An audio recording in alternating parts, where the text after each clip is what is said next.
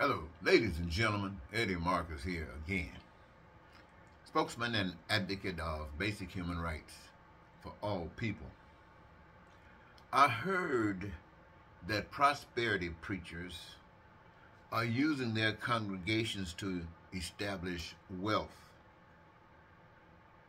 I hear that people are planting seeds, thousand dollar seeds, as if this is to get God to give them a blessing. Well, the rest of it is history. I also hear that hospitals are shutting down. I hear that many are merging together and for some strange reason, a lot of them are making big bucks. Yet there are many that are shutting down. Now, God does not want this to happen, and neither do I. We, God and I, want every person, young and old, that have interest in the medical profession to be blessed. Make plans to do what you have to do. The nation will back you. Choose your specialty. Get excited about it. Education or other training needed must be made available, and it must not be at any cost to you. Our aim, God and I, is to satisfy the requirements necessary to care for every individual in need of care. The best care. Great providers and servants. There are other changes that must be made in order to accommodate such an aggressive move as this. But those changes are known and they're simple to satisfy. I invite many of you to watch some of my other videos. You will see that I address this quite frequently.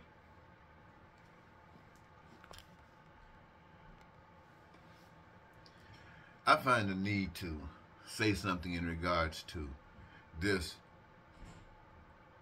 some got and some, some don't. You know, the haves and the have-nots. I find that it is necessary that something is said about that. I have put myself in a unique position to be able to speak to that concern. Like most people, I want to have my dreams come true. I'm sure we all do. Some of us have it coming true. Most of us don't. And many of us don't have anything close to it. So I'm saying here's a situation that is dealing with every human being on the face of the earth. Every last one of us want our dreams to come true. There's not a single individual on earth. And when you speak about a God, each and every last one of us would conclude that a God for us is a God that cares for us as an individual who is humble to a God that does not care a thing about them. Well, I find it necessary to address their concern because here I am in the middle of it all. And I want to say, ladies and gentlemen, poverty is no place that anybody want to be. Being poor is one of the worst things that can happen to anybody. And we have abundant resources on the earth to make sure that there is no poverty. And since every last one of us would benefit from the absence of poverty, it has been designed in such a way that each of us can play a part in the process of creating that abundance, which in so doing make us part owners in all that exists, and we are not beholden to anyone except that power that is invisible that provided all the resources. And that's God. The rest, we work together to achieve an end. That, to me, is as expressive that you can ever get to suggesting that you appreciate a higher power, that you appreciate a God. And that is to show that respect for God to one another. Now, knowing all of these different philosophies, studying all these different scriptures, part of this organization, all of that stuff means nothing. It means nothing. Even the books that you study, the books that you read, the books that you go through, scamming through, spending your life through, means nothing if it's not translated into action. And there is no greater action that can be translated than that action that speaks about love for one another. And that protects one another. That means that you're living in peace, you're prosperous, you're living free, you're joyous, you're happy, you're living your dreams. You're not ever suffering for food, clothing, or shelter, or education, or health care, infrastructure, any of those things that's made by the hands of man. You're suffering for nothing. And you don't have to lie, cheat, steal. You're not beholden to anyone but God. And beholden to God means you're beholden to everything. That means you do what is proper. And what is proper is what you have been given to do. There are no big dogs. There are no little dogs. There are no big hymns, little hymns. All of that stuff come from men. When I say men, I'm talking about human beings who wanted to replace uh, or fit in the place of an invisible God. But they have not enough love to express that which is God. And so, ladies and gentlemen, I just want to say this. We have been put here with choice. Every last one of us have choice. Now, I don't, we, we'll, I'm assuming that everybody got choice. I do, and most of the folks I ever talk to say choice. So you can or you can't. You will or you won't. So if you got choice, why are you praying for somebody to do something for you when you won't do for yourself? If you're going to pray, ask God to give you some get up and do. You want it. You got to you got to do it.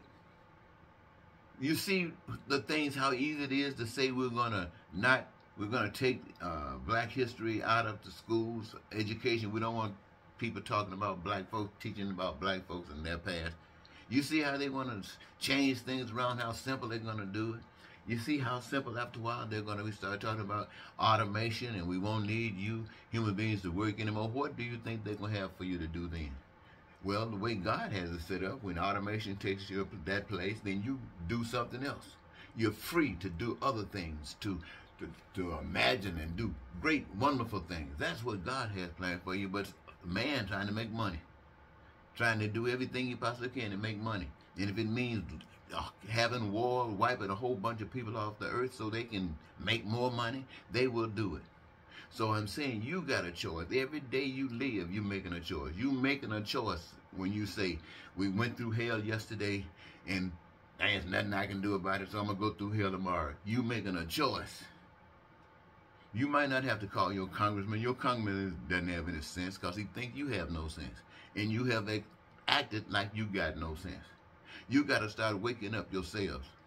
And I've seen people who had a kind heart turn to be some of the most evil people you can imagine because they were living in a situation that made them. Now you say they had choice. Yes, they had choice. And with that choice, and what they had to deal with, they developed into some of the worst monkeys you ever seen. But who's standing there speaking for God? I'm saying to you, ladies and gentlemen, the evidence is the thing that speaks for you. Now, as I stand before you and say, I speak for I, me and God working, trying to work this thing out to create heaven on earth, trying to take you someplace you say you want to go. If I had to look at, around us I don't see anything coming close to that that that that end. I don't see anybody, I don't see any objectives even working towards that. When people start picking out little things, we're trying to work on this little area over here. We're trying to work on this little area over here. You're wasting time. What why, what happened when you fix that little area? You gonna go get on something else? You go get on something else? This is gonna fall apart again. No, you do the right thing. The right thing covers everything. And if you don't know what it is, you got to listen to someone who does. And the one who does tells you, and when it comes out to you, you hear nothing that says you're going to suffer. And you're all right with that. And then you take the necessary actions to make sure that that happens. Well, ladies and gentlemen, I just wanted to mention that to you to start you to think it. Now, I've gotten enough videos to explain exactly how this thing works out. But I would also like to suggest that there is a video uh, by a guy named Jacque Frescas.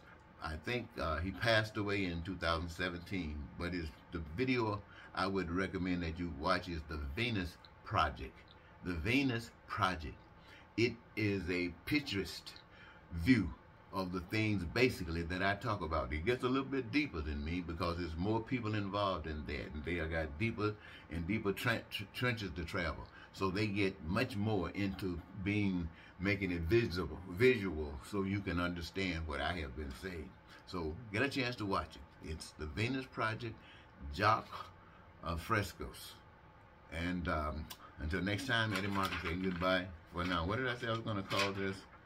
Mm, well, I don't, I don't have a name for it just yet.